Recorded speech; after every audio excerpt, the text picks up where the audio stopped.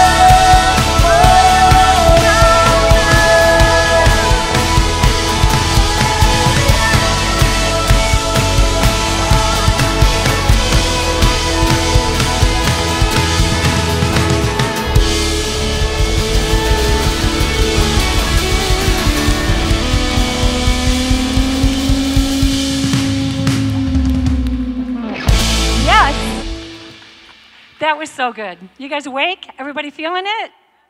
Yeah, a little bit? All right. Quick question. How many people in here lost power over the last few days? Raise your hand. All right, now here's the even bigger question. How many of you still don't have power? Oh, thank you. Me too. Wednesday around 3:40? Yeah, we are shower surfing. People stopped answering our calls. It's a thing. I don't know. It's like nobody's home all of a sudden. anyway, you, you definitely want to let us shower if you want us around you. So you guys can approach because we have had some generous people. But man, it's been a while and we really need our power back, don't you think? I can only eat so much more McDonald's. Anyway, you guys, my name is Susan. I'm part of the Orion team, and we are just so glad to see you here today. We have a great message on tap. Shauna Schwaniger is here today in the house. You're going to meet her. She is just, wait till you hear her message. So many things as she was speaking came to mind of some leaks that I may have, which she will cover in just a few minutes. We're going to take a minute today. Every year around this time, we do an annual report. And the way we do our reports is we just give you some highlights of some things that have happened over the past year. As I watched this, I got to see it earlier. My heart is so filled to know that we get to do this. We get to be a part of this. We get to influence and help a broken world. So, you guys, take a minute, check out this video, and enjoy it.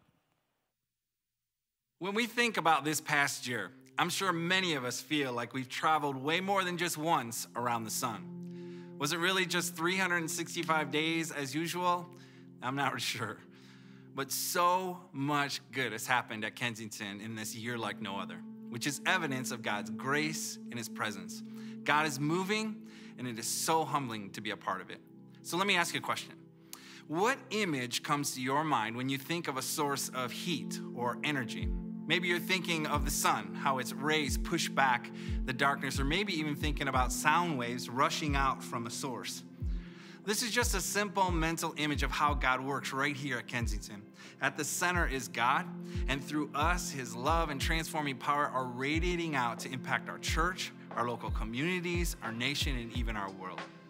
God's power is limitless, and what He can do through a community of imperfect people who are passionate about the one is measureless. So let's celebrate together all He's done in our community this past year.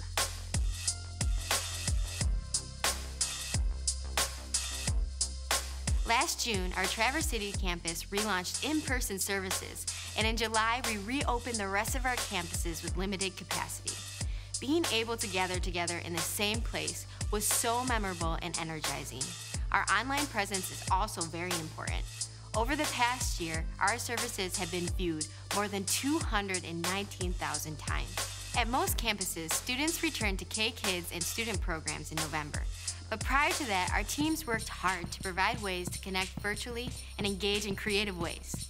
There were video lessons, carefully assembled monthly curriculum bags, over 3,500 total, and campuses hosted all kinds of connection events for families.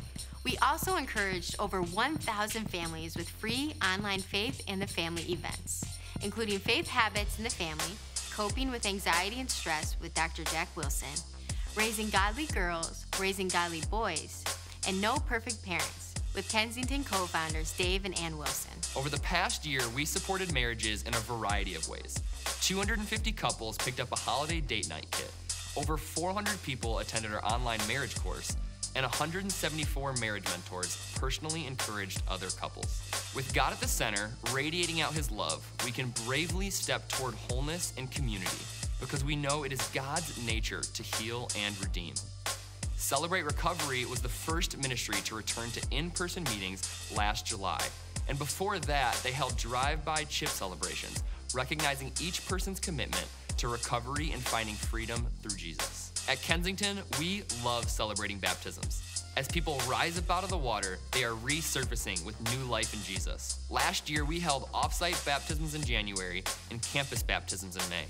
Whether those 93 people were taking the plunge in a swim school or in front of a live congregation, this is an example of God at the center and change rippling out. best way to describe at least my decision uh, for to choose to be baptized is really really boiled down to like the three C's for me is um, the celebration, the commitment, and the choice.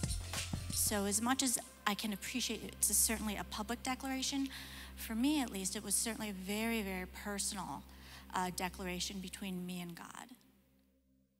If you joined us for Good Friday and Easter this spring, you know that the creative elements and the beautiful teaching on the humanity of Jesus left a powerful impression.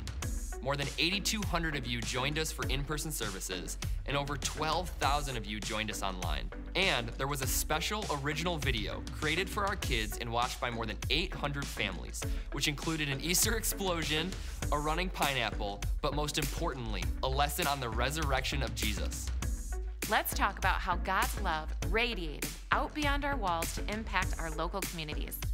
We call this putting love into action, moving out.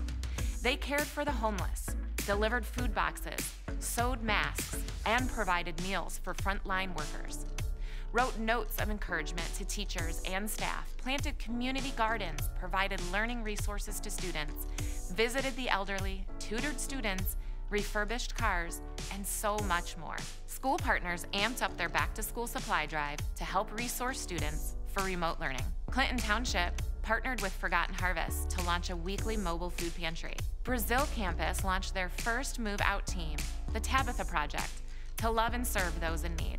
Traverse City launched six new move out teams, serving the under resourced, mentoring students, and supporting foster families.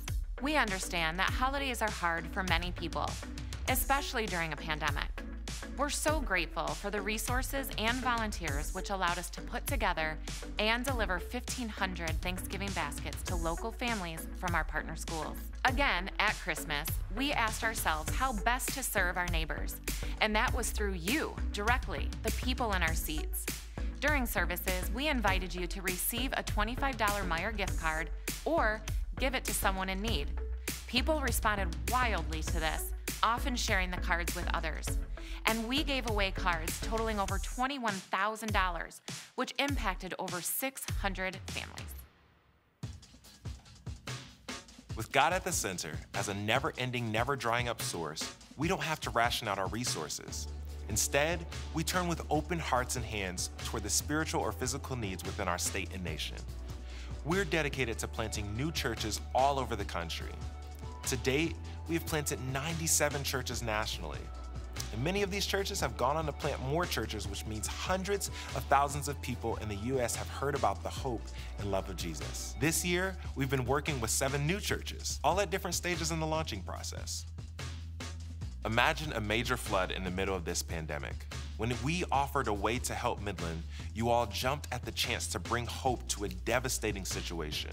We partnered with one of our move out teams, DRAW, Disaster Relief at Work, to provide essential supplies for immediate and long term recovery efforts. During one Sunday morning in February, we shared that hundreds of thousands in Texas were without power and millions without water. And once again, partnering with our move out team Draw, you immediately responded by donating over $20,000, funding more than half of the delivery and distribution of 4,600 cases of water to Houston, Dallas, and Tyler. At Kensington, we believe that we are called to show the love of God by meeting needs in His name around the globe. With God as the source, we reach out to build relationships and share resources with global partners in 10 different countries. Over the past year, we as a community have been supporting these on the ground leaders in two different ways. We help sustain them and the work they do in their local communities, and we stepped in when an emergency struck to equip them. When India experienced a second dangerous wave of COVID, our partner's private hospital was converted into an emergency COVID site at the request of the Indian government. I'm standing in front of the CM hospital, which is being used as COVID grade A hospital. And many lives are being saved in this pandemic situation of second wave of COVID-19. And many people are witnessing God's healing. We shared their need for beds, equipment, and supplies, and this open handed community gave $200,000 to support them as they saved lives. Our partner Reuben in South Sudan shared that by God's grace, good things were still happening among the tribe he's working with. 40 churches were planted, 523 people became followers of Jesus, and 55 people were baptized.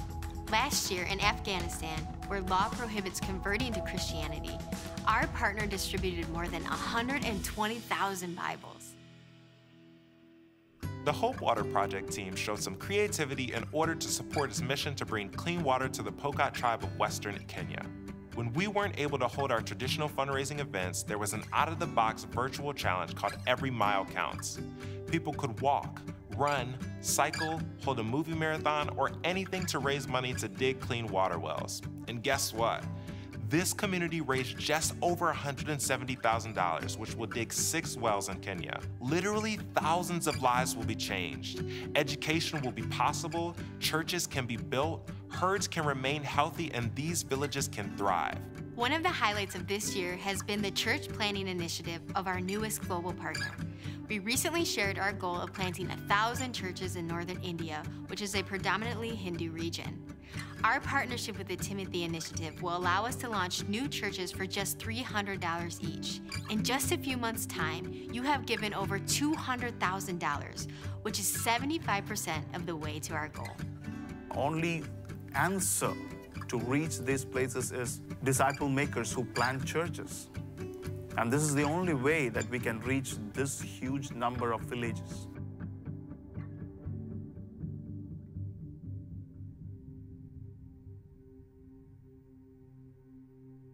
Wow.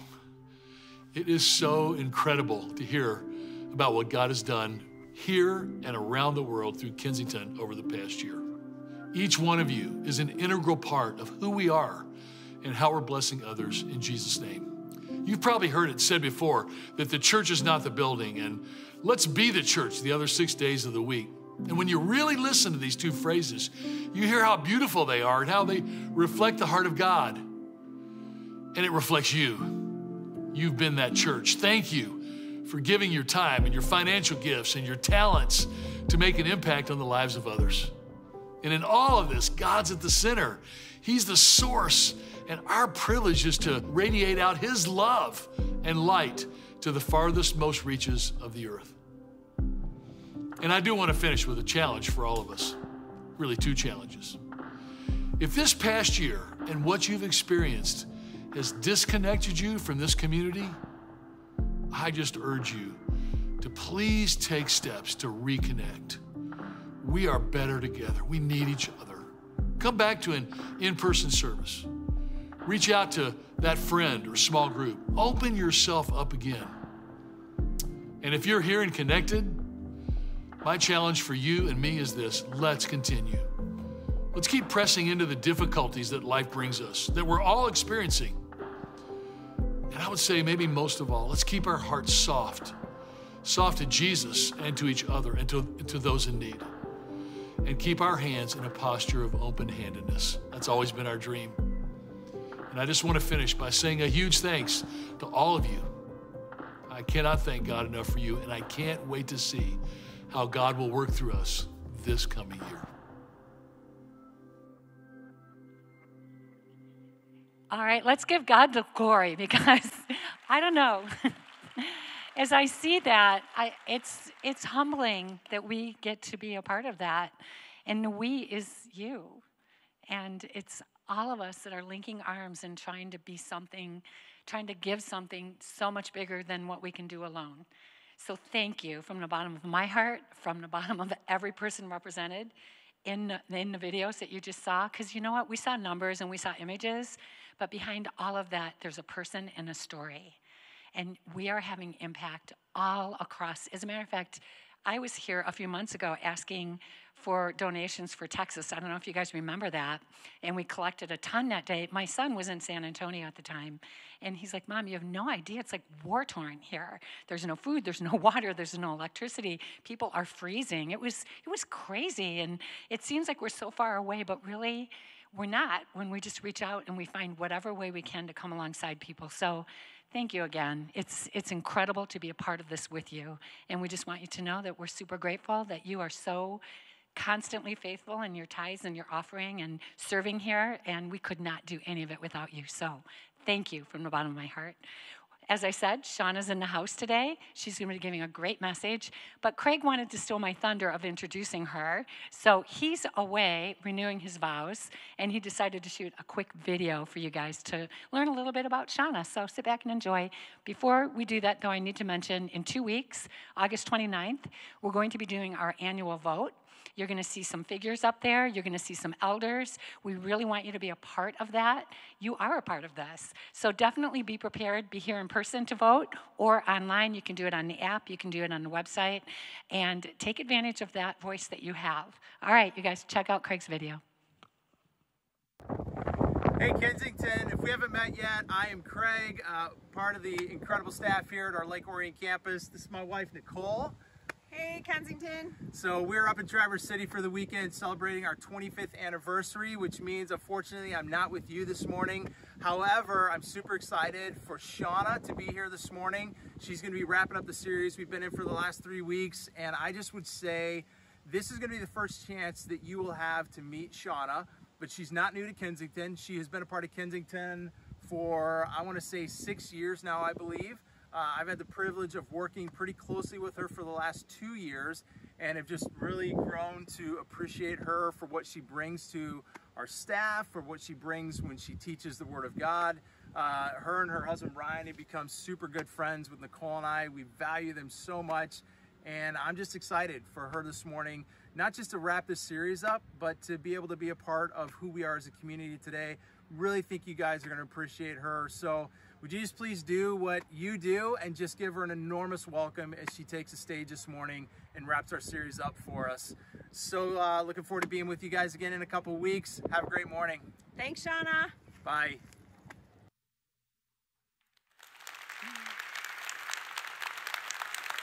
Well, good morning. I am so excited to be here with you guys today. So, thank you so much.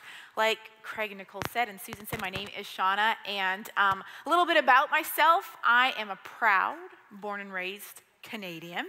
Um, I have been married to my husband, Ryan. It will be 20 years this fall. Um, we have two incredible boys, and truly, we have been on a wild adventure of following Jesus in our life. We spent a couple decades doing uh, being youth pastors. A couple years we were actually overseas in New Zealand doing mission stuff. And um, really, I'm so glad that the last couple years I've been able to be part of Kensington on staff, and that I get to be with you guys here today. So thank you so much for having me. And so we have been in this series called Live the dream, living your dreams. And um, I think we all have different idea of what the dream life could be. For some of us are dreaming to go back up north, go up to the cabin, to the lake for a couple days. That's the dream. Others of us are dreaming about our power coming back on right now. That is the best dream of all. We have a dream of maybe, you know, just getting married one day or having a family. It's a dream job that you really, really want. Or maybe it's a dream that just like you want to travel. I mean, I've missed traveling. I would love to, that is a dream right now. You know, go explore different parts of the world. Maybe it's a dream to get a motorcycle, a boat you've had your eye on. I know one of my other dreams is that carbs would become healthy. That would be amazing. Yes, right? Like, let's somehow we can make that happen. Uh, but one of my dreams growing up, though, was to own a Volkswagen Bug. And I really wanted the old school, like Herbie the Love Bug. That's what I had my eye on. I even had posters of that, which is really strange. And I was like, yes. And then they came out with the new design and the new model. And I was like, oh, that is so the car that I want. But my first car was a little different. I have a picture. It's not quite a Volkswagen Bug but it's a Volkswagen. So I thought I was like in the dream family. So I kind of got close, but that was a Volkswagen Fox, or I like to call it the FOX.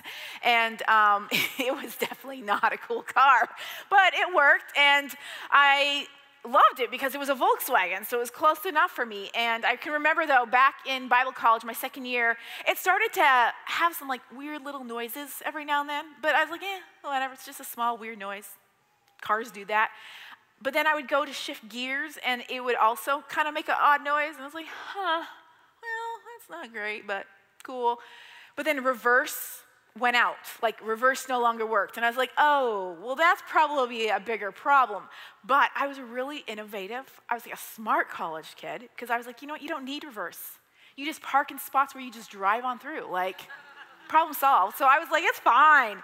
But then first gear started to act up. And at that point, I actually had to start pushing my car at times to like get it going or get out of a spot. And so that was a little more complicated. But I was a broke kid, so I was like, eh, whatever.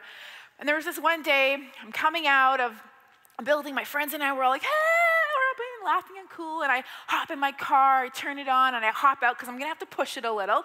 But I'm still kind of like, so I'm not really paying attention.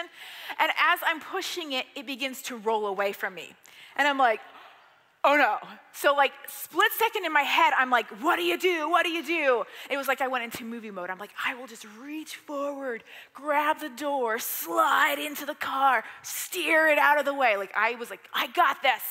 And so I go, I'm like reaching for the door. I go to slide in, and my shoes catch my pant. And instead of sliding this way, I just go smack, like right down onto the pavement. And then I pop right up and I just left. Like, I don't know how my car moved at that point. I just threw it in fourth gear and just left because I was mortified, absolutely mortified. I was okay. I was okay. More my pride was damaged at that point. And looking back, I'm kind of like, huh, maybe I should have listened to some of those little noises. They kind of ended up becoming a bigger problem than I thought. It probably would have saved me a little bit of face with my friends, an actual face because I landed on the pavement. But that's kind of what happens in life sometimes. Some things begin really tiny, really small, and they will grow into something much bigger, more powerful, even beautiful at times. I mean, think about a seed. You plant that in the ground, and it, it can turn into a beautiful flower or maybe even a tree, and it's amazing. And so sometimes the, in our life, our choices as small as they might be, can turn into something incredible. But the opposite is also true that sometimes what starts as something small can actually cause a lot of destruction. And so we're in this series where we're talking about living our dreams. And sometimes our dreams can be affected by those small choices. And I have these balloons here because to me, this makes me think of dreams. They're bright, they're like floating in the air because dreams is always kind of like this, ah, you know, moment. They're colorful. It's like full of hope and all the possibilities. It's like, yes. But sometimes our small choices, the little compromises that we make, they can actually create a little leak. And a little leak, as big and as beautiful as that dream is, can actually deflate our dreams. And so today we're going to talk about the power of our choices and how it, they can affect our dreams. Now, as we continue on, though, in the service today, I would love to just take a moment to pray. So, will you join me? God, um, thank you so much for this day, and I thank you for every single person that is here who's watching online. And I just pray that truly our hearts would be open to you right now that we'd hear from you, that you would speak through this, Jesus, and that as we wrap up this series about living our dreams, I pray that we'd be encouraged to maybe to step out into the dreams that you have for us, that you would reveal those to us, and we'd be confident to, to do the things that have yet to be done, and to be excited about the possibilities of what it is to live a life around you, Jesus, following you and the dreams that you have. In your name, amen. Well, as we continue, I do want to take a moment to receive our offering this morning. And when you give here at Kensington, you're giving to our mission. And that's a mission for people to experience the love and the hope of Jesus. And we just got to witness like a snippet of that through that annual report video. And we saw all the incredible things that God has been doing in and through us as a community, locally and across the globe. That was just incredible to watch and just to know that, that your giving is a part of that. So thank you so much. And you can give by going to our website, to our app. You can even text the word Kensington to 77977, and there will be buckets available on the way out. But thank you so much for being on mission with us. So thank you for that faithful giving in that. So today we are wrapping up the series called Living the Dream. And the first week of the series, we looked at some of the unhealthy patterns and behaviors in our lives. The ones that kind of actually hold us back, that keep us from going after the dream and really living the dream. And we began in this passage in the book of Judges, where the Israelites they had been in the cycle of kind of living in some unhealthy patterns themselves. And most of their patterns were due to the fact that they were trying to do life on their own terms instead of God's terms. And really, it resulted in seven years of living a nightmare where the Midianites oppressed them and overpowered them. And then last week, we met a guy named Gideon, who is an Israelite, and he was like from the least of the least tribes. He's like this guy who thinks he's like, I'm nothing. But yet, God called him a mighty warrior and we talked about how our identity and purpose comes through God. And so today we're going to conclude this series by taking another look at Gideon's story. And Gideon, God is like, I got some plans for you. Now, Gideon's a little still unsure because the Midianites have been overpowering them for seven years. That's a long time. They've been living in this nightmare. But God's like, I have a plan, and you are going to be the one to lead Israel to freedom. You are going to be the one to rescue Israel. Now, part of the problem was that Israel, yes, they've been kind of doing life their own way. And part of that was that they were not worshiping God. They had begun to worship the pagan idols of their neighbors, the Canaanites. And so God's like, we gotta, we gotta work on this. We gotta figure this out because if we're gonna live the dream, which God's dream for them was to live a life that was full of abundance and freedom, He's like, we gotta get rid of those idols. And so he asked Gideon to go knock them down. So one night, in the middle of the night, Gideon goes and he knocks down this altar and this Asherah pole and he, he gets rid of it all. And he's like, okay. But then Gideon's still a little unsure. He's like, I don't know. I don't know if I'm really the guy for this. And God, so he's like, God, you're gonna have to prove it to me. So God proves it to him, and then Gideon's like, okay, we can do this. I'm ready to go help lead Israel to fight against the Midianites. But then God's like, okay, that's awesome. I'm so excited, but let's take a look at your army first. And so we're gonna pick this story up in the book of Judges, chapter 7. And it says, The Lord said to Gideon, You have too many men. I cannot deliver Midian into their hands, or Israel would boast against me. My own strength has saved me. Now announce to the army anyone who trembles with fear may turn back and leave Mount Gilead. So 22,000 men left, while 10,000 remained. But the Lord said to Gideon, There are still too many men. Take them down to the water, and I will thin them out for you there. So Gideon's getting ready to go fight the Midianites. And he has an army of 32,000 men. And God's like, we gotta, we actually need to get that down a few men. But here's what you need to know the Midianites, they have at least 135,000 men. At least. Now, if I would have been Gideon, I would have been like, mm mm, no way, God. Either you got the wrong person to do this or you need to actually increase my army. There's no way we're gonna decrease it. No, 135,000? And they've been oppressing us for like seven years. You gotta be out of your mind. But see, God did not want them to get the self assured attitude where Israel would be like, look what we did, we did it. But instead, that they would see that it was God who brings them any victory. So Gideon's army goes from 32,000 men down to 300. 300 men. So Gideon and his 300 men, they had like a couple ram's horns and some torches in clay pots. Like this really is kind of like, may the odds ever be in your favor moment. Like 135,000 men. Here we go, guys. But they win. They win. They have victory. It's actually like an insane story. I'd encourage you to go back to Judges and read it. But they have victory. So now they are fresh off the battlefield. They're like, yeah. And I imagine they're kind of in this celebration where they're like, yeah, they're carrying Gideon up on their arms. They're like, Gideon, Gideon, victory. And then they're like, you know what? Gideon, you are the man. You need to be the ruler of Israel. You did it. You led us to victory. Oh dear. Here's Israel once again.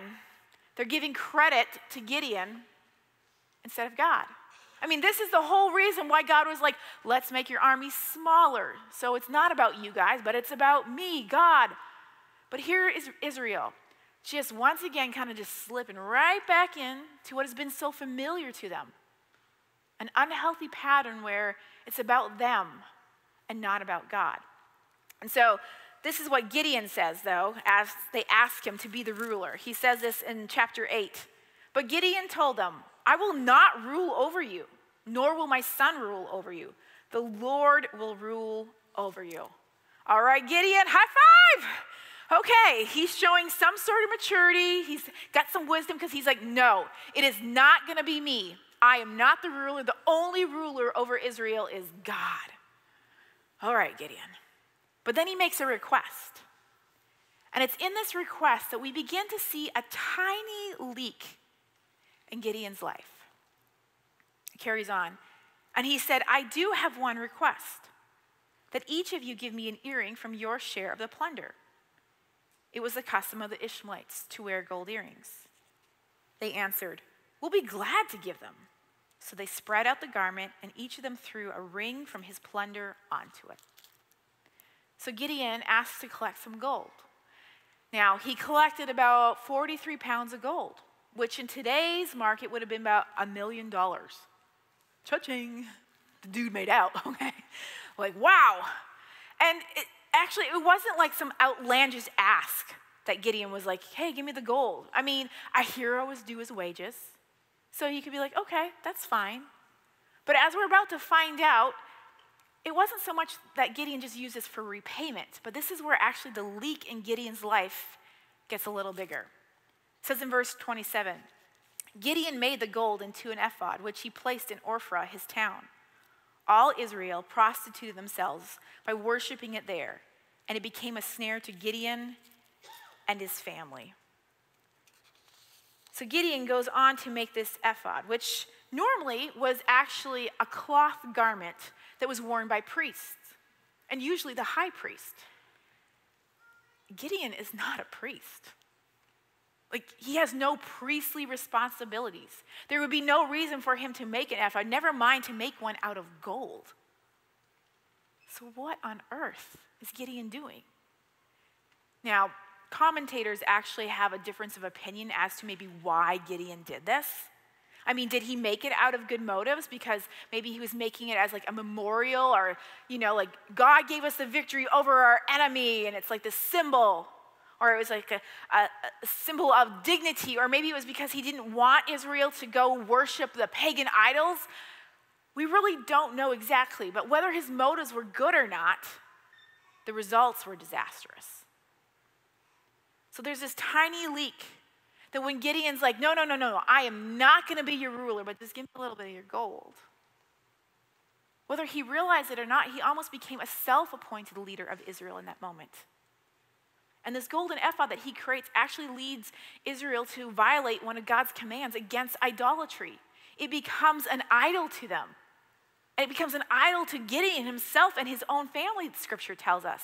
This actually becomes a worse idol than the altar and the Asherah pole that he knocked down not that long ago. And here we see Israel, once again, like slipping back into this pattern that they were in a few chapters ago in the book of Judges where they're worshiping idols instead of worshiping the one true God. And the dreams that God had for the Israelites, this promised land where they could live this life of abundance and freedom, is once again deflated. Now, Gideon, it wasn't like he probably was like, I'm going to do this thing. He just probably made a small, what he thought, insignificant choice, just something tiny. He was like, oh, it's no problem. I'm just going to do this one thing my way instead of God's way. He wasn't like, oh gosh. But those tiny little compromises really created a leak. It created a leak in his faithfulness and his integrity to follow God. And see, the danger in a small compromises is that it can corrupt, it can destroy, it can weaken our character. And if left unchecked, can really go on to damage everything. Because what starts off as a, just a small step where it's just barely over the line can eventually lead to great disaster, can lead to damage, can lead to heartache and pain in our lives, and can lead to great sin. So when we're just like, oh, making a little excuse, we justify it because, oh, it's okay, can then make the next questionable decision that much easier to make. And the thing is, all of us are inclined to do this. Like, all of us, myself included. It doesn't matter whether you are a Christ follower or not, or you've been following Jesus for maybe 10 minutes or 20 years. We're all inclined to this, and we see this happen all the time. Where maybe a high profile Christian leader has been removed from church leadership due to some sort of scandal. In recent, there's been Carl Lentz, Bill Hybels, and unfortunately, there's a list that follows. Now, when I was in Bible college, I was given a picture, and it really doesn't look like much. It's just kind of a building. But this was actually a hotel that was being built in 1987. It was being built by a guy named Jim Bakker. And Jim Bakker was a very popular, successful televangelist, and he was making a Christian theme park. But a couple months into the project, he had to resign due to scandal, due to financial and sexual misconduct. And the hotel was never completed. It was never completed. So all these dreams that he had, the dreams of this life beca- like came to a crashing halt and really became an absolute nightmare. And this picture was given as a visual reminder. I actually kept it in my Bible for many years that the small choices and the small compromises, those tiny leaks, they can be costly. Because here's the thing no one sets out in life to be like, oh, I'm just going to um, have some scandal. Right? No one's going, my dream is to have an affair. I can't wait to embezzle in a company. That's not the dream. But it starts with one tiny choice, one compromise that really creates this leak in our lives. And if we allow it to just stay there and we don't do anything about it, it really can lead to destruction and ruin in our lives. And it can deflate everything, including our dreams. Now, there's this verse in Galatians chapter 5, and it says, A little yeast works through the whole batch of dough. Now, I would not consider myself a baker. I bake things, but I cheat bake. I buy the dough that's already made and then I put it on a pan. And I'm like, hey guys, look what mom made. It's not real. But I have made bread a couple times and I, I've used yeast, and it's like these tiny little granules. And you put it in the dough and it goes through the whole dough. But not only that, it actually affects the outcome of your bread. Like if you don't put yeast in your bread, ugh, don't eat that. It impacts the entire thing. So the small choices and the compromises that we have in our life and the tiny leaks that we allow there, it affects everything of our life. It creates these leaks in our character. And it can create consequences that are beyond us. And it can lead us down a path that we never intended to be on. And I think the saddest thing in all of it is sometimes it can undo some of the work that God has done in your life.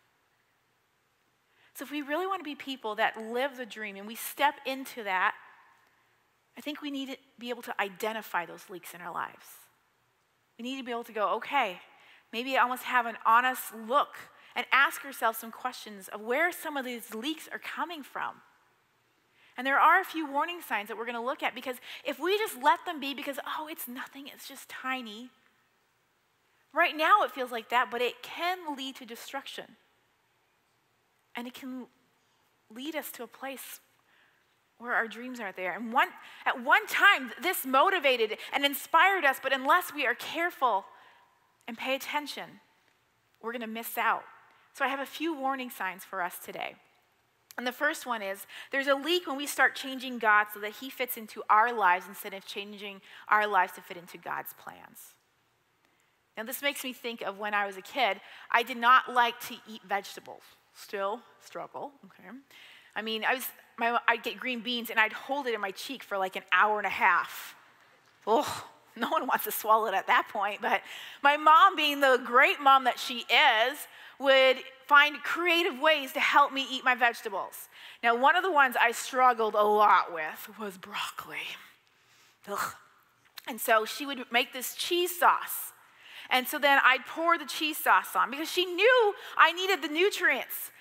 I needed the good stuff, and I would just pour it on. I'd be like, oh yeah. I'd keep pouring to the point where it was like, broccoli, are you in there? And I would basically eat cheese sauce with like a little speck of green in there. And at that point, I've lost all the goodness of the broccoli. There's no nutrients. I am basically eating processed cheese. But we lose out on the truth of who God is when we alter Him to fit our narrative. So when we just take little snippets of the Bible and we take the pieces that, oh, that sounds good, or that fits my life, oh, that feels comfortable, and we toss everything out aside, we're gonna miss out on the truth of who God is and the experience of who He really is in our lives. Because following Jesus, though, is it's not about Him fitting into our life. It's actually about us rearranging our life around Him and His purposes. But when we try and make Him fit our life, there's probably a leak. There's a leak when you begin to develop an unchecked sense of entitlement. When you hold the belief that you deserve certain preferences, when you will make unrealistic demands, maybe on friends, family, coworkers, neighbors, when you feel you are entitled to things for happiness, or you're entitled, you know, because you want this status and you will go to any length, any great length to ensure it, even at the expense of someone else, there's probably a leak. There's a leak when your butts increase. Now, I'm not talking about this booty, but when this one does increase, there's something else going on, so you need to hop on the treadmill or something, okay? But the more you find yourself making excuses not to do what Jesus is leading you to do, there's probably a leak. I mean, we're to do life together in community. In Hebrews 10:25 it says not to neglect meeting together. So maybe when every opportunity for a small group or to connect after a service or go to this event, a Bible study, and you're like, oh gosh, I would love to. That sounds amazing, but oh, I wish I could, but kids, work, house, and the list just goes on. When you find yourself making up more excuses or having more buts in your life, there's probably a leak. There's a leak when you let desire trump obedience. Now, we all want things, but I know for myself, too many times I've allowed my desire for something to justify why I should have it. I, I can look back at my life and go, oh gosh, all the times like I wanted that one new thing. Maybe it was a new piece of furniture, a new car, or I wanted to go on vacation. And I allowed that to dictate my finances instead of allowing God to lead me in them. And it's not that those things are bad because they're not.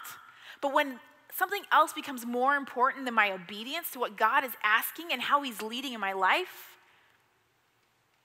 there's probably a leak. There's a leak when you start justifying a wrong because of a wrong. So when something happens to you, so you do something back. And it can be simple. It can be someone cut you off in traffic, so then you just flip them off. You justify a wrong with a wrong. I remember back in school, um, I got into a fight with a girl, and it was probably really dramatic and catty, because uh, whatever. And instead of being like, oh gosh, I forgive you, let's work this out, I was like, mm mm meet me out back at lunch and we're to take care of it my way. Oh, yeah, I did. I know I look really sweet and innocent, but that day I was like, no. And sure enough, at lunch, we met out back and I gave her my best right hook because she offended me.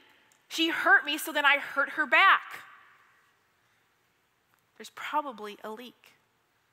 And so, if we actually want to step into living the dream and the dreams that God has for us, we have to be able to identify some of the leaks in our life. So it just doesn't end up deflated. So we need to identify the leaks and use the warning signs so we know and where the leaks are in our life. But then we also need to admit something. We need to admit to ourselves what is at stake if we keep leaking. Because it's one thing to go, okay, yeah, I got that leak, and then we kind of, oh, carry on with life. And have this like, gosh, I hope it doesn't do anything. But when we can actually admit to ourselves that man, if I keep leaking, I might sacrifice the dream and I might be actually leading myself down a path that I really don't want to be on. How could the leaks in your life deflate your dreams? We need to admit that. So we need to identify the leaks. We need to admit what's at stake, but then we also need to begin fixing the leaks. Now, I wish I could say there was like a magic wand for this where we could be like, and boop, ah, and everything's fine. But when it comes to fixing the leaks in our lives, that usually ends up being a little bit more of work. And there's different things, and sometimes it's more of a journey. It's not this quick thing. But I think one of the most important parts when it comes to fixing the leaks in our lives is accountability. You need to find someone that you trust that you can invite into the process of accountability. Someone that will support you and encourage you, but that will actually take it a step further, that will keep you accountable, that will look you in the eye and ask you some of the tough questions, the times when, when you want to avoid at, all costs will be there to say, uh uh okay, let's get back on track. And someone that's there so when you do slip up and fall, because it's gonna happen, they're there to pick you up but keep you on the right track. We need to have people that will help keep us accountable. But we have to be willing to do the work and to do the work that's not just warm and fuzzy, but that we will actually engage in the work and not avoid it. Because these tiny leaks, if we just let them go, they can destroy everything in our future and her dreams. Now, all of us, I mean, all of us, myself included, we've all made some choices. We've all had tiny compromises in our life that have, have affected our dreams, whether we probably realize it or not. We've all been there. But I also know that for some of us, you're probably sitting there going, you don't know how many leaks I got going. And maybe it feels like you are way far gone. There's, you're like, I'm past the point of fixing this. and I hear that. I've been there. But you need to know this it's not too late. It's not too late. See, the beauty of God and His grace is what He does. What is once deflated, He takes it and He goes, okay, I see that, but guess what? My grace, my mercy, my hope, my love, He is the one who wants to reinflate our dreams. It's nothing that we have to do, it all comes through Him and a relationship with Him. And it doesn't matter how many deflated balloons you have on the ground, it's more important that you ask God to come reinflate them again because you're not too far gone, it's not too late. And there's a favorite quote of mine from Bob Goff, and it says, It doesn't matter who you were, so it doesn't matter. It doesn't matter if all your balloons are deflated on the ground, it doesn't matter. God cares more about who you're becoming. He cares more about who you're becoming, and He wants to be a part of it. So let Him reinflate the dreams in your life. And let's keep dreaming. Now, I would not consider myself a dreamer. To me, that's always been my husband. He's a dreamer, visionary, he's a risk taker, idea man. But over these last few months, God really began to stir a dream in my heart. And it felt really big, it felt beyond me. And at the same time, that was like really clear. Like I was like, whew. I mean, I would wake up in the middle of the night thinking about it and thinking about the possibilities. But then I thought of a thousand reasons why I should not. Like, I should ignore it, and I just, but every time I was like, oh, no, no, no, it was like this discontentment would stir inside of me. And I was like, ah. Oh. And the idea of actually speaking out loud to someone to actually share all these things that I've been dreaming about and holding in my heart was terrifying to speak that out loud, that vulnerability to say, hey, I have, I have this idea.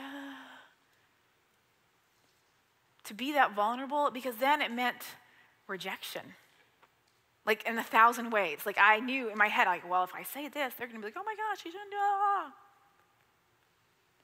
But we will never know unless we actually step into it unless we try. And we will never know what God could do in and through us unless we actually take a step toward that. And the last couple months in my own life, man, it has been a whirlwind. And I've had to bravely, I mean, hands shaking, wanted to puke my guts out at points, going, okay, I'm going to step into this. I'm going to step into this. Now, for some of us, we're probably going, okay, that sounds great, but how do we even discover the dreams that God has for us? Well, I think it all comes back to knowing Him. It all comes back to us connecting to God's heart. That that would actually be the first dream. That that would be our goal, would be to know Christ. Because out of that, we will discover and He will show us the dreams He has for us, but we have to connect to His heart. Now, there's a guy in the New Testament um, that was his goal. Like that was his dream was to know Christ. But it did not start out that way. He actually started out as a guy who did not like Christ's followers, and he did some pretty ruthless things. But then he ends up having this encounter with God, and it like flips his world upside down. I mean, so much so that his name changes. He goes from being called Saul to Paul. And then Paul goes on to be this man who is passionate about Jesus and his message and that people would know him. But his passion, his goal, his dream was to know Christ. And we read this in Philippians 3. And it says, Not that I've already obtained all this or have already arrived at my goal, but I press on to take hold of that which Christ Jesus took a hold of me. Brothers and sisters, I do not consider myself yet to have taken hold of it. But one thing I do, forgetting what is behind and straining toward what is ahead. I press on toward the goal to win the prize for which God has called me heavenward in Christ Jesus. It's in the knowing of Christ that his dreams are revealed to us. Paul's passion and dream was to know Christ, and he says for us to press on. May we be people that will press into that, maybe for the first time or for the thousandth time, but let's press into knowing Christ because it's out of that we discover the dreams that He has for us. And that we would keep going, that we would keep pursuing that no matter how many times we fall, get sidetracked, we trip up. It doesn't matter how many times the dream deflates. It matters more that we get back up and we keep going. And so, for some of us today, we really need to work on some of the leaks in our lives. But I think all of us, we either need to ask God to ignite some dreams in our hearts, we need to ask Him to remind us or refresh us of a dream that He has for us. Because I truly believe that for every single person that is in here today and who is watching online, God has a dream for you. Now, we have an incredible opportunity tomorrow night. We have a virtual event. It's called Live Your Dreams. And this really is a chance to dig in and discover the unique design and the dreams that God has for you. And you can find out more information by stopping by the hub or go to the website. But this might be the best next step for some of us today to step into what might the dream be that God has for us. Because let's be people that will keep dreaming to keep dreaming because I really believe the best of what God wants to do in and through us has yet to happen. But He's just waiting. He's waiting for some of us to step into the plans and the dreams that He has. So let's ask Him. Let's ask Him what those dreams are because, man, it might blow your world apart. But this I do know whatever dream God has for us, some of it might happen like this, but sometimes it might take a while, and that gets hard. Because then we begin to question. We're like, oh God, is this even you? I don't even think I'm supposed to be doing this. I'm just wasting my time. Or we get frustrated, or it just feels like we're hitting walls. It's okay. Because He's a God who promises to be with us, and He is with us in that waiting. He's just asking us to take a step of courage, to step out and to discover the dreams that He has for us. Because at the end of the day, it's not about us, but that we would make it about Him. And that we could hold on to the hope that is only found through Him. So let's be people who dream big dreams. Will you pray with me? God, I pray that for each one of us, that we would take an honest evaluation, maybe to see some of the areas in our life, to see some of the leaks, some of the things that have felt like just a small thing are there, but really to be intentional in that, God, and that we would begin to do the work so that we can be people that can live out the dreams that you have, Jesus, and that we could discover that. I pray that you would ignite some new dreams in this place today, Jesus. You would ignite something fresh, something that feels beyond anything, that is an amazing thing of what you can do, only you can do, God. Remind us of that. And in all of it, Jesus, may you be the passion of our heart. May it become because we are connecting to you and to your heart and may we discover what you have and what you have yet to do, Jesus. In your name, amen.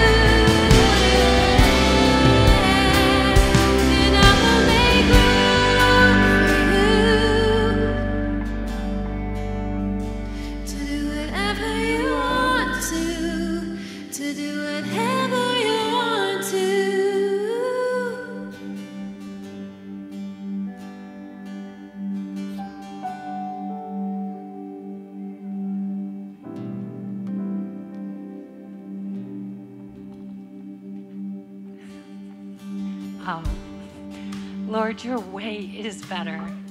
And God, help us to make room for you. Help us to hear your still small voice. Help us to stop the leaks and to lean in, Lord, and know that you've got it and you've got us in your hand. Thank you, Father God, for this great day, Father. Thank you for bringing us together, Lord, to remember, Lord, who you are and who we are because of you. Shauna, thank you. Great message. You guys, anybody have any leaks besides me? Thank you. We got leaks. I got leaks. It was so good to have you today. Thank you Come back. We would Yes, love to have I you back. love to come back. All Love right, couple quick things and then you're on your way. Today we have our K Kids Beach Bash. It starts at 1 o'clock. If you've got some kids and you want to meet some other families with kids, you should check that out. Tomorrow night, we've got that virtual live training that Shauna told you about. I sat through that class. It was phenomenal. I mean, it's it helps you just count up your dreams and start going back at them instead of letting them be deflated. So, highly recommend that. Next Saturday, Rock Your Family, one day event at Covenant Hills. Still time to register. It's going to be a blast. Zipline, blobs, great speakers. Steve and Paula Andrews are in the house, so check that out. And mark the date for it's September 18th. Yes. getaway. Shauna's going to be there too. It's a one day women's event. It's taking place of Smash this year. You're definitely going to want to check that out. It's in Detroit at Durfee. It's going to be phenomenal. So I hope to see you all there. Prayers in the back. Take advantage of our amazing prayer team. We love you guys. We hope that you have the best week, and we'll see you soon.